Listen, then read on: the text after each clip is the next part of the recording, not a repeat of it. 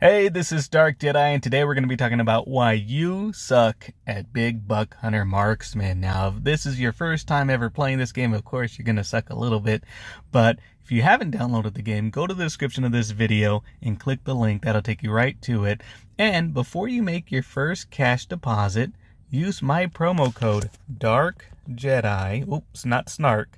Dark Jedi SA, and that will get you a $20 bonus on your first deposit and a $10 de- uh, bonus on your second deposit. So let's jump right into it. Why do you suck at Big Buck Hunter? Well, here's the first thing.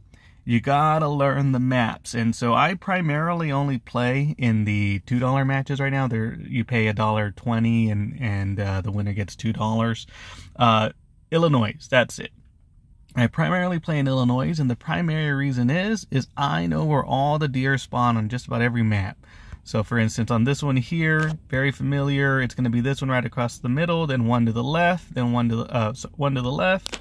It's going to jump almost immediately. Let's see, there's the jump, and then on the right, I'm going to do a headshot. He's going to come from the right. I'm to do a headshot, and then the next one is going to come right from behind the middle rock. There's the headshot. And then he's going to do a jump. And then after that jump, I'm going to aim down sights and pop them. And then the, the last one's going to be on the left, running to the left. And I can take that shot there, but I don't like doing it because I, I usually miss it. I usually wait till he gets past that doe to take that shot. So as you can see here, I just loaded up the game. I didn't prepare for this video. I'm recording it as I play. And I know where all the deer are going to spawn. So right there, that's why you suck at Big Buck Hunter. You haven't memorized where and when the deer are going to jump. It should not be a surprise to you what the deer are going to do. What's another reason why you suck? Well, I'll tell you. Uh, the next one is going to be called sight discipline. And what does that mean exactly? Well, sight discipline means you don't pull up the sight unless you know where and when you're going to take that shot. Now, sometimes if you're a little tired or uh, just a little bit behind the shot, you might hesitate and have to do something dramatic. But for the most part, I know exactly when I'm going to take a uh, take a shot. And right there, you saw me sight down immediately. It's because that deer was doing yoga. If the deer spawns in and it starts bending its legs or jumping, I just wait for it to finish because it's it's kind of dumb that you'll miss the first deer. Oh, and that is because I'm doing the video. I hesitated there because I'm recording as, as I play. But here I, I already know where and when I'm going to take the sight. I don't, so this one right behind that deer, I'm going to take the shot and shoot it like that. And man, that first game was perfect. This one I'm struggling a little bit, but this one I'm going to wait till behind the trees and that is when I'm going to sight down. And so I know not only where the, the deer are going to spawn, but I also know when I'm going to aim down sights. So I don't want to aim down sights unless I'm ready to take the shot. What's another reason why you suck at this game? Well, not paying attention to the direction that the deer is running. And I'm going to load up another match and see if that uh, will help explain this one because it is, and I think I won that last one. Let's see here. Yeah, so we won this one. Oh, okay. Uh, won that one by a little bit.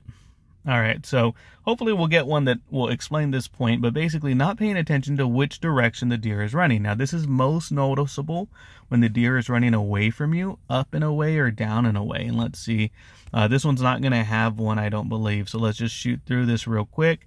But even in this, I think this deer right here, he's jumping towards me a little bit. So I can tighten up the shot. You see, I didn't have to lead it that much because the deer is running towards me. Um, this one's going to be a headshot, and I always struggle with this one. And I always aim two clicks to the left. Oh, and he's going down. Uh, and I knew I was going to do that. All right, well, at least I got that great shot. Uh, and I was paying attention to that one. I forgot about the next deer. So this is going to be a little bit more tricky. There we go. And then to the left, we're going to wait for it to clear. I can take that other shot, I just don't like to. And that one's actually a good example. See how the deer is running towards me? I don't have to lead that shot as much. And I did lead the shot more than I needed to. I could have basically put the target right over the, the hit spot. But you can see um, you don't want to lead too far. I'm going to do one more to see if I can get a map that will highlight that point, which is paying attention to the direction that, that the deer is running. Because there are certain things you're going to need to do to help lead the shot properly, and that's paying attention to which way the deer is turning. So let's see here. And to add to that point, do not take a shot when the deer is right at the at the part where it's landing for whatever reason the bending of its knees just causes that shot to suck for the for the game it just thinks you're shooting the upper back when you're when you're not and I'm not even focusing right now but um let's see here let's get some perfects I think this shot right here is running down and towards me so here I can I don't need to lead that one as much as you would think. And that, one I didn't I didn't lead it enough. Uh, okay, let's see here. trying to get a map where the deer is quite literally running towards me or away from me because that that will highlight the point that I'm making here. But what we'll do is we'll go on to the next topic and that is not paying attention to the shot report. Now, the shot report is important because if you're missing shots, you need to know why. And once you get to the point where you're perfect getting everything except one, it's real easy because you can just jump right to that one that you missed. And let's see here. So we won two in a row. We're waiting on two more matches to fill. Um, watching the shot report. So here I'm just going to play normal. Maybe we'll get one of those that um, that are running towards me or away from me. But I want to point out to uh, exactly what I mean by that. So let's see here. So this one's running away. So here I have to actually aim a little lower than you would think because the body is contorted just enough to where I have to aim lower than what you think. So that kind of pointed out a little bit of what I was trying to say there. Um, I think this next one, as it runs across the trees, let's see. It's running down a little bit. So that one we missed. Let's get a perfect on this one. Oof. Okay. So this this is a good example. So what did I do wrong? Did I lead it too far did I not lead it enough? The shot report's going to tell me. I think both of those I led it too far. So one of them was too high, one of them was too low. And they were very close to target, but that's going to help me adjust mentally for the next time I play that map to know where I need to shoot and where I need to be targeting. So hopefully you've learned a few things so far as to why you suck about the uh, suck at Big Buck Hunter. And, and let's recap here. Not memorizing all the maps, not knowing when you're going to pull your sight up and take a shot, and also not paying attention to the direction that the deer is moving when you take that shot because the direction of the deer is moving is going to tell you how and where to lead the shot. Now the last one is is more advice than anything else, but it's how to lead your shot. You need to learn how to lead your shot. Leading your shot is essential in this game. These bullets are basically like arrows. They don't get there as quick as you would think. And so, and this one's running towards me, so I'm just going to aim basically right where I need to aim. Uh, but when leading the shot, what I use as reference is the size of deer. So if we look at this shot here, you can see the deer basically takes up the whole scope. So I know that I don't need to lead the shot that far. And this one's running towards me, so again, I don't have to lead it as much as you would think. But as the deer get further back along the map, you're going to see that they take less and less space off the screen. And so that one I didn't need to lead nearly as much as I did. And so based on how big the deer is, determines to me how far out I need to lead that shot. And and as I'm recording this, I'm not leading the shot very well. it's really hard to record and, and play at the same time and talk. But um but yes, yeah, so what I'm using as reference as a as a as a tool to help me know, okay, I need to lead the shot past its head a little bit. I need to aim it on the body over the right leg. I'm using the size of the deer and how much it takes up of the scope to determine how far out I'm leading that shot. And that's why headshots are very difficult for me because when I go for headshots, it's really hard to put into perspective the size and, and, and, distance of the deer. And basically, what I've had to do is just remember okay, if I'm going for a headshot, how many clicks off the center am I using? And this one, look, I always count it on the third jump, right over the right leg. I always take that shot. Uh, these two deer run away. And this ones are always tricky for me because I want to stretch the shot, but oof, that was way too, I didn't lead that nearly enough. But for whatever reason, I just can't get the timing right on these deer when I wait at the very end. And here's a good one. So this one's going to be far away, but I already know this shot well enough. I'm going to take it right there. And of course, I didn't shoot it very good. I took that shot a hundred times, but I wait for that deer to hop right there and I put the, the scope right in the same spot every time. And I usually perfect it every time. And that time I just, I uh, made a mistake there. But uh, you can see I led it too far and that's what I thought I did, but the, the replay confirmed it for me. So let's see how we're doing so far. Uh, so we've lost two to Surveil. Surveil usually kicks my butt every time, and he's probably going to kick my butt here too. Yeah. Uh, and we're waiting for Daddy Needs Juice to finish his match. So, how do we do while recording this? So, we won two, three wins, three losses. So, this last one will be a tiebreaker to see if I won or lost overall since I started recording. And so, to add to the leading of shots, the last thing, why do you suck at Big Buck Hunter? Not using the tools on your scope. So those little clicks on there can be used as as dots. I mean, once you know exactly where the deer are going to be every time, you don't have to place the center uh, of the scope where you think it's going to be. You can place uh, a, a, a different dot basically because you, you know that that dot is on target. And, and what I mean by that is the little hash marks to the left right, and right and above the scope. Let's see here. Oh, that one took, like, it just kind of like bent its knees a little bit and lowered its body. I was already high, but I could have gotten a perfect if it hadn't just dove down. And that one I led too far. That one was running towards me, and I know that one I'm not supposed to lead farther than what I think, but I did it anyway. So on the third jump, one, two, and on the third jump, that's when I scope and that's when I take my shot. And that should be a perfect. So again, that's where knowing the map, knowing when you're going to scope all comes into play and then leading the shot. I've taken that shot a hundred times. I know exactly where to put that, that shot every time. It's going to be the same shot every time. Well, I think now I'm just talking in loops here. I'm just showing off my skills, my horrible uh, big buck hunter skills. And, and that's really it. I don't think there's anyone that's like amazingly perfect. Everybody makes mistakes in this game.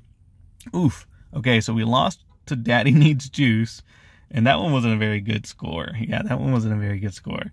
But let's see if we can win some of our money back with Surveil. He's usually pretty good. I usually lose to Surveil. But if he doesn't perfect that last deer, I think I have a chance to win. That last one is tricky for some people.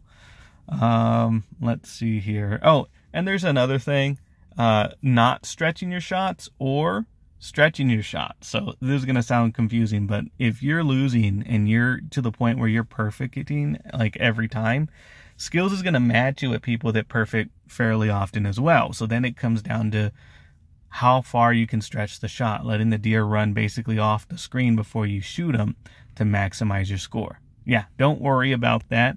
Just play, try to get perfects. Oh, look at how close that was. And I can't leave on a, on a losing streak. So I'm going to play one more and I'm just going to focus. I'm not going to think. And, and, it paired me with someone I've never played before. So I'm probably going to whoop them.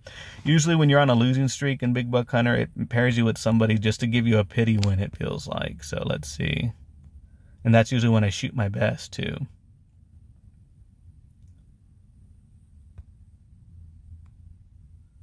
This is me in deep focus.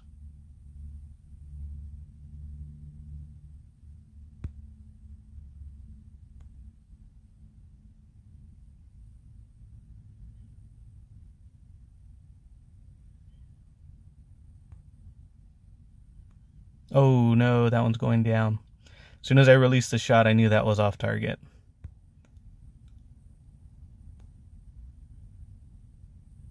Ooh, 5.4 on that last shot. Okay, well, I sucked. I choked. Uh, let's see if my theory's right that Skillz felt sorry for me and paired me with someone that I could easily beat. But with that score, uh, I don't know. That's not a good score. I just hate losing and I hate going off on a losing streak. So I want to get a win before I log off, but that could be a while the way I'm shooting. God, I was wrong. That guy basically perfected the match. My high score on that was 15,000. The guy had 14,600, so I would have basically needed all perfects to hit. Jane Doe's really good too, so um, that that's not good for me. that's not good at all. And, and sometimes you'll find that you're just getting paired with really tough opponents. And actually, this one is one of those maps that I was telling you that you you really got to pay attention to which direction the deer's running. Take a look at how I take these shots coming up.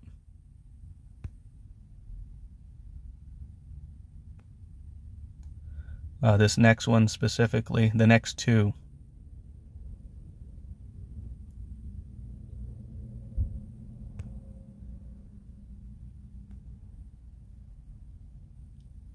See how low that was and how tight it was?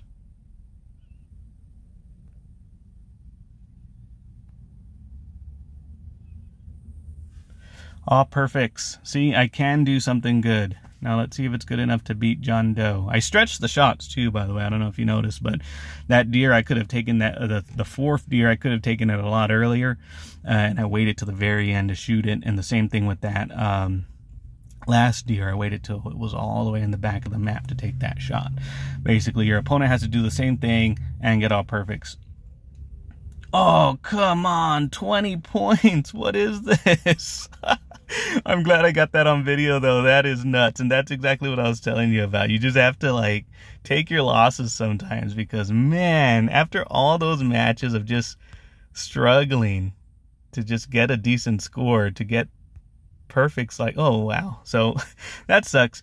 I, I i missed the first deer. So what happens is i lose a thousand point bonus. So right away i'm down a thousand points. Man when it rains it pours. And i'm glad i got it on video. I'm gonna still post this on video because i said why do you suck at big buck hunter? Well the the reason is is because you play like me. Okay let's see here. Yeah don't get paired up with people that perfect the match perfectly and beat you by 20 points that's my advice. Wow, I can't even hit a perfect now. I'm on tilt. That's another thing. When you get like me and you're just on a losing streak, take a break. You're not going to get anything good out of it. Oh, well, at least I got the, the, the hardest shot. I got that one perfected and now I'm on tilt and I'm on video and I just want to log off on a win. I just like a win here. And and the thing is, I shot amazing that last one. I thought I was ready to log off, but no, I had to go up against someone that was perfectly, perfectly shooting everything perfectly. All right, let's see here.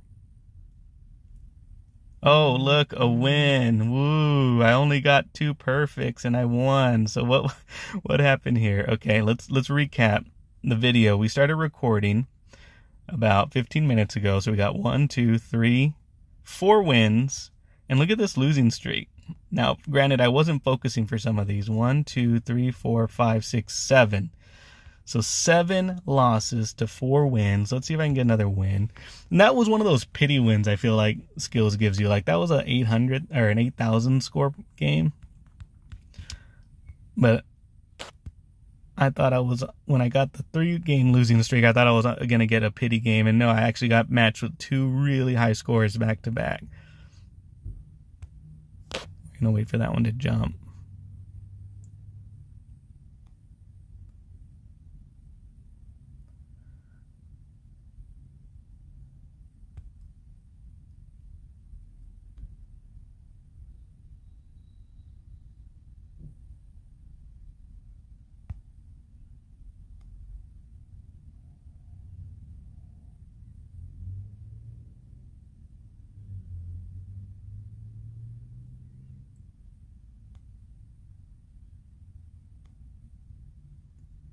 All right, I was in deep focus. Man, can't believe I didn't perfect that last shot though. That sucks to be on a losing streak like that and then not get perfects like that when you're just waiting on that last shot.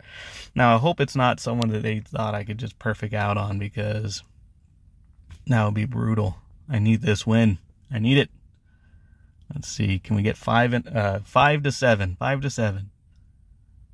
Let's see it. See, they didn't even score 8,000 points, and I almost perfected the whole match. And okay, so five wins to seven losses, and I don't know this guy. Uh, I've never seen. So usually when I see someone's name I've never seen before, I, I question if how good their score is because usually it's someone that's not good.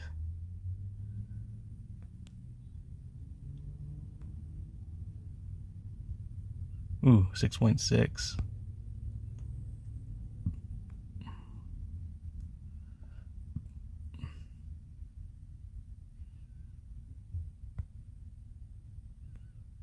That looks good. All right, last shot, last shot.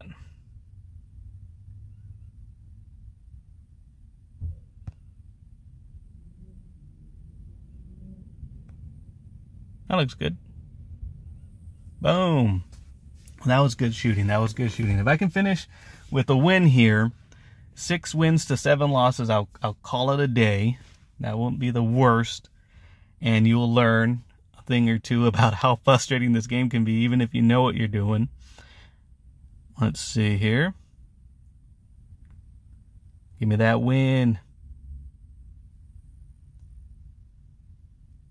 Oh, they're still playing. Okay, so that one might take a while because usually that means they paused it or they logged off in the middle of the game and it hasn't recorded it yet. But I'm going to take it as a win. Six wins, seven losses.